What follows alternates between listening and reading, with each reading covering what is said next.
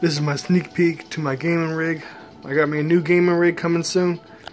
I got the case. Got the Beast GTX 1080 by Zotac.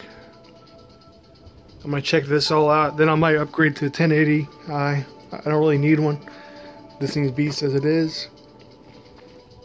The Extreme amp. But this is a sneak peek to my uh, Kaby-Lake build.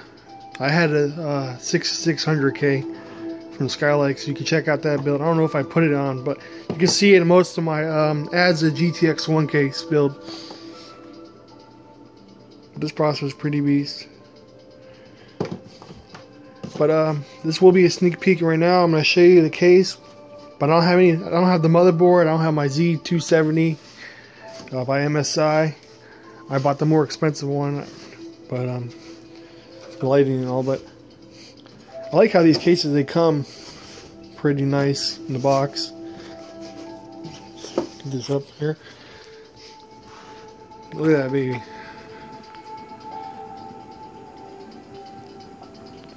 This is the Panzer Max. I haven't took the uh, stuff off of it yet, the bubble wrap or whatever you call that. But this is just a sneak peek to my uh, case and my build I'm going to be doing. Uh, I'm going to do a Kaby-Lake build. Put that beast in there. And uh, I should be gaming soon. Just a little sneak peek to my new gaming build coming soon. Good one.